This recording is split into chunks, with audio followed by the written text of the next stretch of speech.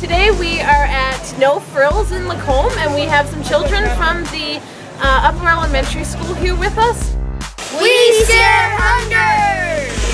The kids are doing an amazing job just introducing themselves and talking to the customers and when I look around I see trucks already filled up and I know that our community is right on board and it looks like they're doing another great job of building community and uh, and all of this goes to the Lacombe Food Bank so it is absolutely impressive once again. Good job Lacombe! We scare hunger!